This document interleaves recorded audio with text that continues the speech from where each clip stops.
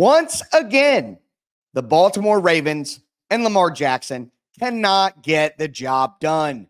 That and more on today's edition of Locked On NFL. The new Locked On NFL.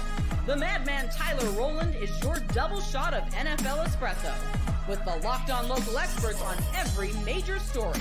Get ready, Roland is revving up.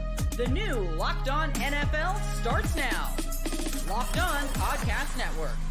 Your team every day.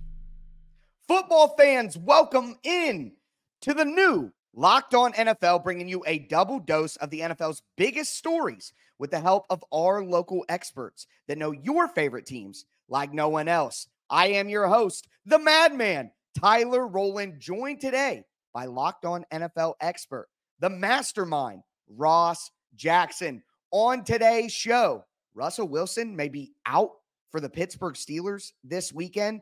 No more excuses for the Philadelphia Eagles as they play on Friday against the Packers. And once again, on the opening game of the season, Lamar Jackson and the Ravens cannot get the job done. Before we get into that, I do want to thank you for making the Locked On NFL podcast your first listen each and every day. Thank you for being an everydayer here on Locked On NFL, part of the Locked On Podcast Network, your team every day. Make sure that you tune in later to the barber shop with the one and only Tony Wiggins as he chops up the biggest stories in the NFL and might even have something to say about what I got to say about Lamar Jackson. But with that being said, Ross knows what's coming here. Okay. With that being said, I do want to let you know that today's Football Friday with the Madman and the Mastermind is presented by Prize Picks. Go to prizepicks.com slash locked on NFL. Use the code locked on NFL, all lowercase, to win $50 instantly when you pay $5. Once again, Lamar Jackson, the Baltimore Ravens, they lose to the Kansas City Chiefs 27 to 20. Ross, obviously a fantastic game, but my thought is coming out of it, everybody singing the praises of Lamar Jackson and me. I'm like, did everyone watch the same game that I watched? Yes, yes. the toe was out of bounds, Kevin Durant style. It didn't count, but he missed a wide open Isaiah Likely a couple of plays before that when Likely went down and was hurt on the ground. He missed Zay Flowers on the play right, right before that wide open with nobody next to him. So it's like, I, I don't know. I guess it's one of those things where I feel like all of the running and the plays and the highlights, it's like Madden. It's like what we all wanted to see growing up a quarterback being able to make those plays. But at the end of the day, he doesn't make the clutch plays. And then because there's a toe on the line, people are going to make excuses for it. I guess my big takeaway is Lamar Jackson wasn't good enough in the clutch despite being good for most of the game. I cannot disagree with you more. Uh, Ravens fans don't listen to this guy. All right, they call him a madman for a reason. All right, listen. Hey. This you, you you look at the fact that Chris Jones was one on one with Justice Hill on the on the pass that was missed in the end zone. You look at the fact that Zay Flowers go make a play on the ball, dude. Don't just watch it go past you. Like make an effort here. And then he does make the throws. Tyler, he made the throw to Isaiah Likely with one toe out. He made the throw to Rashod Bateman down the right sideline to put them in position there in the first place. And if it wasn't for those legs that are pulling the wool over your eyes. They're not in that situation in the first place. He's the only thing that the run game had going. I I can't. I can't. I can't. Right, listen, I can't. I, I, I'm not going to tell you that that's not valid. But let's hear from our guy, Kevin Oestreicher from Locked On Ravens, and his reaction to this devastating opening loss. The Baltimore Ravens lose a week one thriller to the Kansas City Chiefs. I'm Kevin Oestreicher, the host of Locked On Ravens. 27 to 20 was the final. The Chiefs come out on top in a pretty sloppy game filled with mistakes. The referees certainly played a part with those illegal formations as well, but Baltimore just could not get the job done. Kansas City could not take advantage of the Ravens' mistakes. For the most part, the Ravens almost came back because of it, but fall literally a toe short as Isaiah Likely gets a toe out of bounds on what would have been a game tying touchdown. Likely has nine catches for 111 yards and a touchdown. Lamar Jackson goes over 100 yards rushing, but it was not enough as the Ravens start the season 0 1 and look ahead to week two against the Las Vegas Raiders. For more on the Ravens and their week one loss to the Chiefs, be sure to check out the Locked On Ravens podcast and subscribe on YouTube, part of Locked On Podcast Network. All right. Kevin's taking it. Okay. But moving away from the Lamar Jackson thing, you make good points. All right. You make good points. Don't call you the mastermind. The mastermind, right? but the real question is if a guy scores 60 points but he fouls a three point shooter down three on the final shot at the buzzer, and the guy makes it and hits the free throw and they lose by one. Is it his fault they lost? You would probably say no, and I would say yes. But more importantly, more importantly, I think this is bad news for the Ravens. I don't want to do week Mm. one overreactions to a Oh, team. come on. We could do a little bit. The the We do a little offensive line got worse. The Uh-huh. defense That- and the brain true. drain with the coaching staff, some of the pieces that they lost over there. I think that it's fair to say that their roster is worse. I think it's fair to say that their coaching staff is worse. And I think you only get one real shot. The Bengals saw it, the Titans saw it. You get one real shot to knock off Patrick Mahomes. And if you don't take it and you weren't there, it- it's not going to come back to you because he's too consistently good. And I think last year was the Ravens' real shot. So we could talk Lamar all we want. He's still one of the best players in the league. But overall, big picture for the Ravens, I think they missed their shot last year and they didn't get better. They got worse this year. Yeah, I, I think that's true, especially over on the offensive line. And I think some of the play calling was strange. You also had some of the week You one quirks that that, come yeah. with, yeah, with like five different uh, uh, illegal formation penalties and things like that too. I mean, these this is all sloppy week one stuff. But I, I do agree with you that this was your chance here as the Baltimore Ravens to get that one and zero start and get that one and zero start against a team that you needed to get that one and zero start against. You look at the Detroit Lions last year and the way that that propelled their entire season getting that big momentum right out the gate. The Baltimore Ravens are going to have to see the Kansas City Chiefs to get in the playoffs more than likely. And this one's going to sting and linger when they get back to that game. Absolutely. Now, on the Kansas City side, it's just the inevitable. Once again, Patrick Yeah. Mahomes gets it done. And we hear from Chris Clark at Locked On Chiefs for that. Kansas City Chiefs are victorious 27 to 20 on opening night against the Baltimore Ravens. They won by a toe at the end of the game.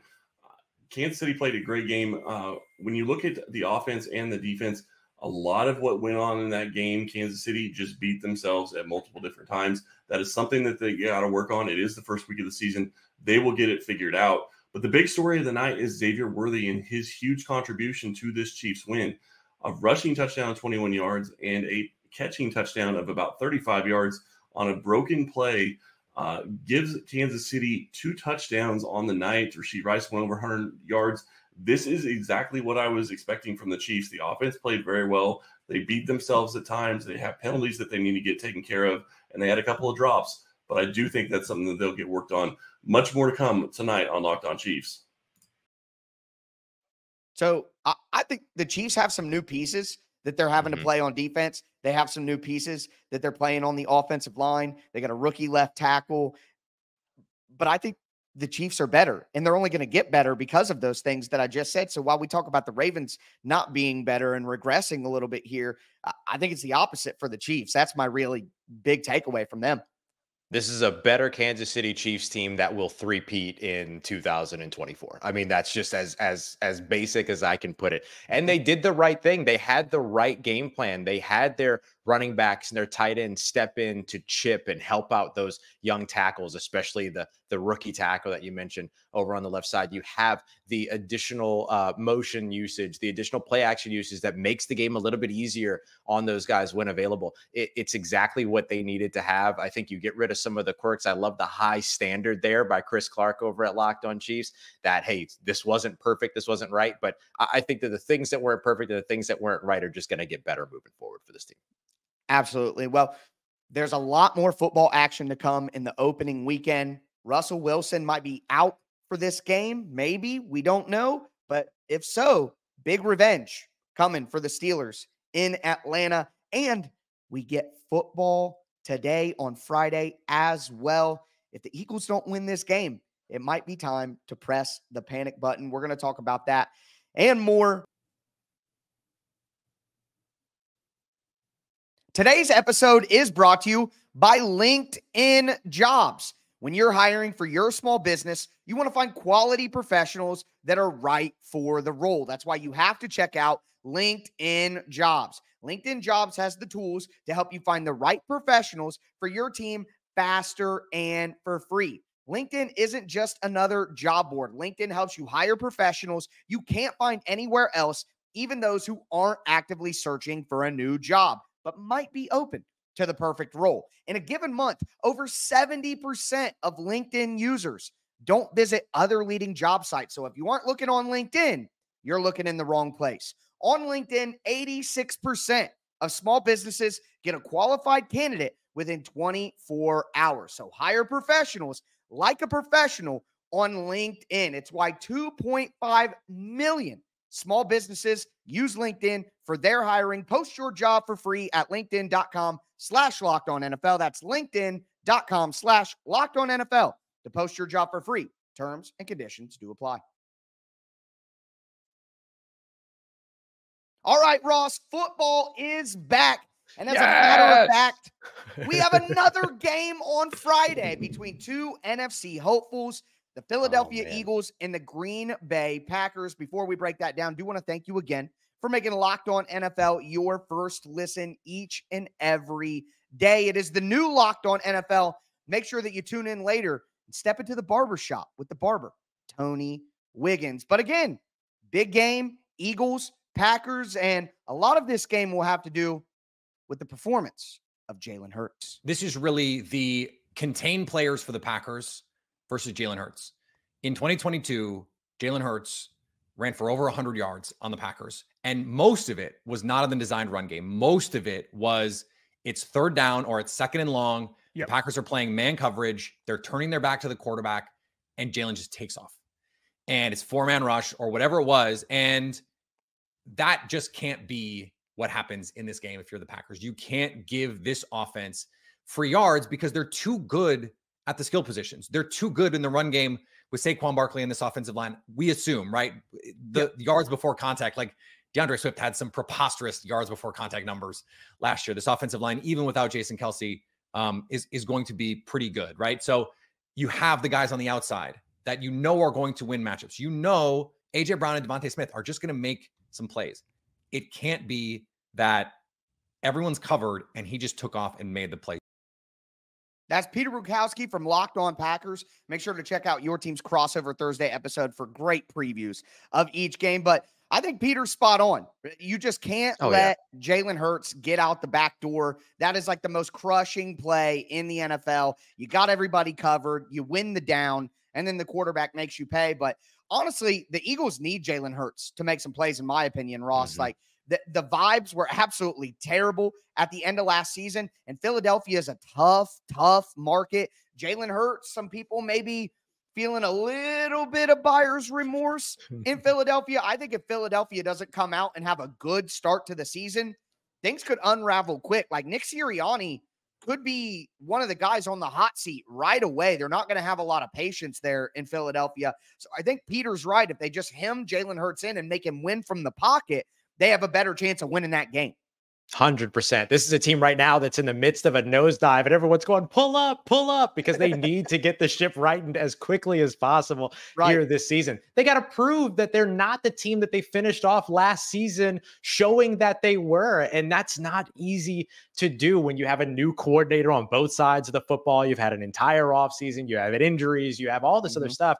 Like this game is a humongous stand, like opportunity for the Philadelphia Eagles to say, no, this is who we are. Playing the first ever NFL game ever played in the Southern Hemisphere, and we're making a right. statement about who we are as a football team. Here's an opportunity for them to do that. And not just in front of the nation's eyes, but the world's eyes in this situation. And of course, if Green Bay can get pressure on the quarterback, and more importantly, Tyler, finish plays at the quarterback, that's going to be the big measure of their success. But if they can't do that, Jalen Hurts going to get his which is funny too because Green Bay, there's pressure on that side as well. They make mm-hmm. the change at defensive coordinator, bring in Jim Hafley, and they're looking at him like he's a savior on the defense. And I've seen Peter's hype. Peter has been hyping up the new DC all all season, talking about his college clips and everything like that. So the Packers have a lot of pressure to perform on defense. If they don't, and the Eagles cut them up, people in Green Bay, and I know people in Green Bay Still remember that Colin Kaepernick playoff game where he ran for oh, what was it 170 yards or something? Yeah. So if you got a quarterback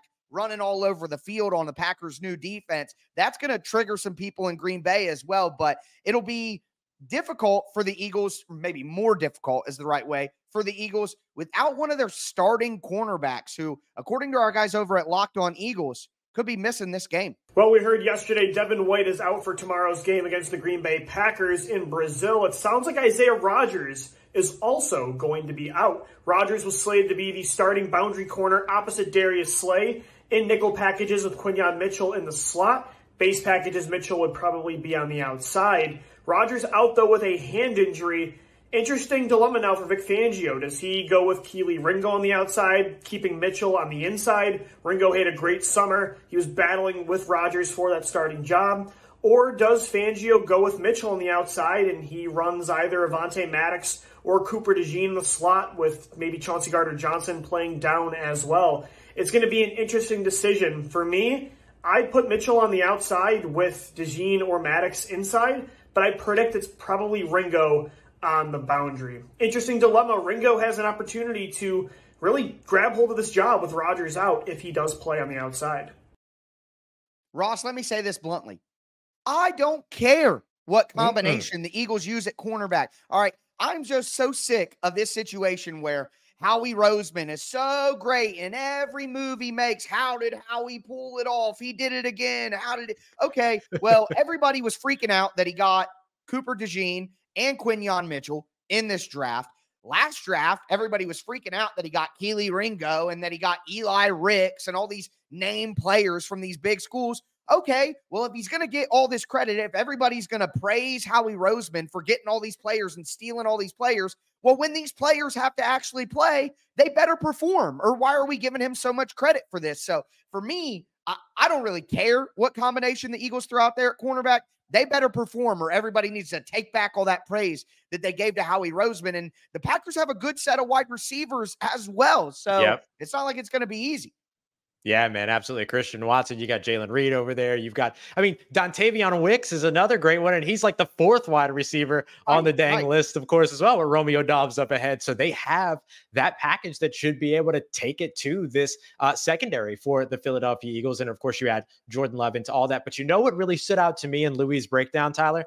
The big thing for me uh, with no Devin White and with them having to kind of shift some things going on in mm-hmm. that slot position, I'm going to prize picks right now, and I'm going more, more, more, more, more on Josh Jacobs rushing yards. That to me is one of the big things that I take away from this. This has always been a small, though athletic and effective, but it's always been a fairly small linebacker corps for the uh, Philadelphia Eagles. They lose yep. one of their top guys there, although a guy that's been embattled for a little bit, but still one of their top guys. And then now you're shifting one of the guys that's key and run support, which is your slot corner. Yeah, I'm running yep. Josh Jacobs to the ground in this game. And I'm taking every over, every more, everything that I can that's relative to Josh Jacobs going into this game. Yeah, absolutely. And and you know, with Marshawn Lloyd out, AJ Dillon right. out, yep. that's even more reason to mm-hmm. hammer Josh Jacobs in this one. And Ross, speaking of prize picks. Oh. Today's episode is brought to you by Prize Picks. Look, Prize Picks is the most fun way to play daily fantasy sports. It's why it's the number one daily fantasy sports app with over 5 million active members. All you have to do is pick more or less on two to six players and their stat projection, and then watch the winnings roll in. Just some examples Josh Jacobs, 75 rushing yards. Jordan Love, 225 passing yards. AJ Brown, five catches. You just pick two to six players and say whether they're going to do more or less. And now you can win up to 100 times your money on prize picks with as little as four correct picks. Also, one Caleb Williams passing yard gets you one win on prize picks every week in September. That's right. Only one yard gets you an automatic win every football weekend in September. Download the Prize Picks app today. Use the code Locked On NFL and get fifty dollars instantly when you play five dollars. That's code Locked On NFL on Prize Picks to get fifty dollars instantly when you play five dollars. You don't even need to win to receive the fifty dollar bonus. It's guaranteed. Prize Picks. Run your game. All right, Ross, we're going to cap off today's Locked On NFL. Again, football is back, folks. And it feels so good. Excited for So this good. game on Friday night as well between the Eagles and Packers that we just discussed. But there are some Sunday games that got even more intriguing here at the end of the week. The Pittsburgh Steelers could be without Russell Wilson. What's going on with the Carolina Panthers and Bryce Young? Before we get into all of that, thanks again for making Locked On NFL the new Locked On NFL. Your first listen each and every day. Remember, I am your host, Tyler Rowland, the Madman. I'm going to be here with Ross every single Friday. And then later on today, make sure that you tune in to Tony Wiggins, the barber in the barbershop, chopping up everything NFL. But looking at the Steelers, we got some crazy injury news. All right. Russell Wilson limited with a calf injury. And if folks recall, he had the calf injury in the preseason. And there are some interesting stakes with this game that we'll get into. But let's hear from Chris Carter from Locked On Steelers with what's going on with Russell Wilson. Hey everyone, Chris Carter here from the Locked On Steelers podcast with a news update here after Steelers practice on Thursday. Russell Wilson was a limited participant. Mike Tomlin noting this after practice, saying that it was a little bit of calf tightness that forced Russell Wilson to get to, to get it looked at. We will we do not know if that's going to impact his starting position for the Steelers opener Sunday, 1 p.m. against the Atlanta Falcons. Justin Fields, of course, played a ton in the preseason and a ton in training camp because of a calf injury. So now there's a legitimate question who will be the Steelers starting quarterback for Sunday? It might be a nothing burger. Russell Wilson might practice Friday, but now it puts a lot of emphasis on that Friday Steelers practice report to see whether or not Russell Wilson will be back in a full go or if there's going to be questions going into Sunday if Justin Fields will start the first game for the Steelers at quarterback. We'll keep you up to date with all of that on the Locked On Steelers podcast. Tune in for the Friday episode wherever you get your podcast.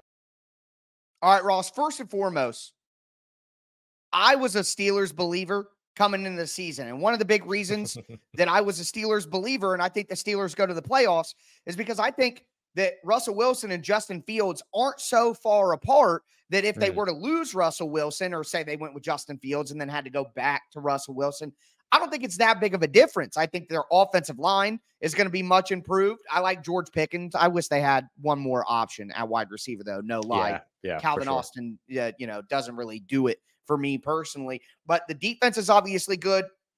And you always get the Mike Tomlin bump. So I believed in the Steelers, and I think that they could still win this game, even if Russell Wilson is out. But let's just for a sec, think about the stakes here.